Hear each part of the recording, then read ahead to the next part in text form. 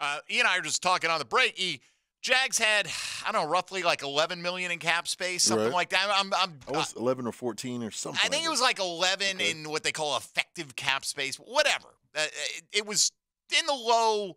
What would that be? Low eight figures, right? Whew. Can, can I get some low eight figures, Okay, please? You know, but um, you got to wonder what the contract will look like for Brandon McManus. His last deal, um, he signed a four-year, seventeen million dollar contract. Okay, uh, so this is a guy who now it, it's funny because you look at uh, here he has four-year, seventeen million dollar contract uh, in twenty.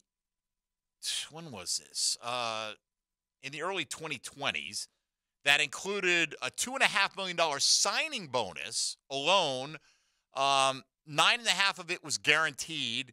Average annual salary of 4.3. So his cap hit was even higher than that because you had the prorated portion of the signing bonus. You compare that to what Riley Patterson made last year. His base salary was $825,000. That's good money, but it's not a massive cap hit for you. So you got to figure, and with the timing of this, they didn't sign Brandon McManus on spec. Okay. They didn't say, hey, come in and compete, be a camp leg. If it works out, great. Brandon McManus has been around.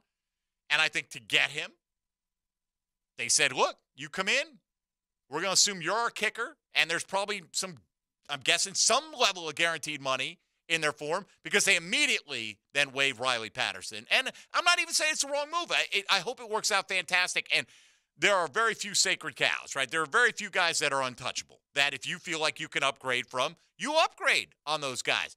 Like Trevor Lawrence.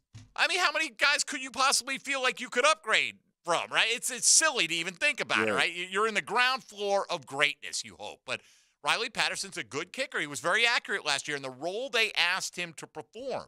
They didn't ask him to kick the long ones very often, but he came through in the clutch, was really good down the stretch, but clearly the Jags, I think, like you were saying, you want to, you, you, you can't score a touchdown every time, right? You got to extend that scoring range out. And now, honestly, you get to the opponent's 35 yard line, you add, what, what is that, a 53 yard field goal? Mhm. I mean, that's field. That's not even think about rolling McManus out there. There's no pooch punting. There's no should we go for it on fourth and six here. I mean, you might go for it on fourth and six depending on the circumstance, but you're going to roll him out very comfortably. And you know, several people pointed out, and we made the point as well. He kicked at altitude. That helps, but his career long came on the road. This guy's got a big leg. He's kicked 40 field goals of 50 or more yards successfully in his career. So, you know, welcome to Jacksonville, and I hope it's the right move. And that also it brings another question when you bring up the money. How much is this going to affect us getting that veteran pass rusher? Well, that that's we the whole thing, right? How, what's left over, Yeah. right? What's left over, and and again, it, we don't. I as of this moment, I don't know if is it a multi-year deal, is it a Mhm. one-year deal, whatever, and if it's you know even anything more than a year, you can fudge the cap numbers around and and leave yourself some extra room. You know, Doug Pederson has been pretty much down the line that it, it doesn't seem like he is desperate to add a veteran pass rusher It don't to this like team, it. It right? does not seem like it. And I mean, you do the two pri it- who, again. the- Whoever you bring in, if you were to bring in somebody, has to accept a coming off the bench kind of role. And a lot of the guys, you know, some of the guys that we talked about a lot this offseason fit that category. And some, I think, still are probably looking at themselves as full time starters and are waiting for the right opportunity if it comes in training camp due to an injury or whatever the case. So, uh, anyway, hope you enjoyed, you know, a listen to the downtrodden today uh, compared to the Jaguars. At least we hope that it'll play out that way. But, E, uh, I'll let you vote first here. Which team will be the worst in the AFC South this season? It's a three team choice you have. You know who they are. Who do you say? I'm going with the Texans. You are. Yeah. Okay. I just think that they have a longer climb uphill. Um, yeah, they got a new quarterback, obviously, and I think that's probably why the Titans are the strongest because they have a quarterback. Although Tannehill it really ain't all that. They're our biggest. They're our biggest rivals, the Titans. So uh, I believe that the the Texans have a, a, a larger climb uphill due to all the rookies and uh, everybody who they're expecting to play a role. I- think it's it's hard for me to vote for the Titans, even though I think you can make the argument like there are a lot of questions about that offensive line. There really are. And you look at some, like when you look at elite talent, we talked about Indy's got a handful of really elite players Yeah, do. that had down seasons due to injury or whatever factors, and they're still young enough that you think they can still recapture that prime. You look at Houston, and they brought in, you know, some sneaky veteran players, and John Harris mentioned a few of them. Sheldon Rankins up front is a good player. I- Jimmy Ward at, from San Francisco is a good safety. Denzel Perryman is, when he can stay healthy, is a ball hawking, uh, like a, a tackling machine of a linebacker. You know, so they've done that a little bit. Uh, they've got some young first round picks that may come into maturity. I, I'm I'm really on the fence, but I'm going to say it's the Colts, honestly, because I think there are more questions to me about Anthony Richardson's quick assimilation to the National Football League. Maybe I'll look like a fool when it's all said and done. I think CJ Stroud's a little going to turn out to be a little bit more game ready to go from day one when when the dust settles.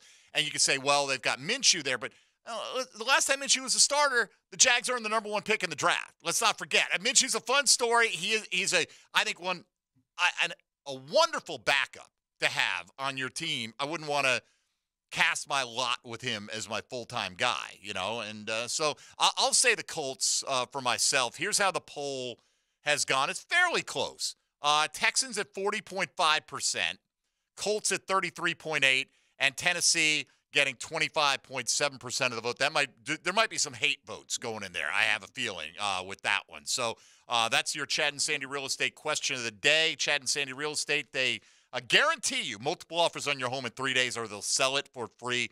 Visit them online at chadandsandy.com. And I got to say, the lobster, as we call it in my household, right, uh, Red Lobster, has made a comeback here. Oh yeah. These polls usually, after about 150 votes in, don't change that much. And at that point, you know, we asked you today, what are your thoughts about Red Lobster? If you don't like seafood at all, or you're allergic in the case of ET, don't vote in the poll, right? But if you, you know, if you like seafood, what do you think? Do you love it? You like it okay? Nah, or man, get the beep out of here. Okay. And early on, it was like love it was like 4%, and like it okay was like 30 something percent. But now love it's at 11, like it okay is at 42.7. So the majority of people are saying they at least like it okay. I'd put myself in the top end of like it okay. I wouldn't. I mean, I don't love it. It's not like my favorite restaurant, but like I've never turned down. Hey, you want to go to Red Lobster? Yes, I do. As a matter of fact, want to go to Red Lobster. So uh, I like Red Lobster. I like it quite a bit. I might be leaning more in the love it category. Uh, Twenty-seven percent say nah, and man, get the bleep out of here is at about nineteen percent of the votes.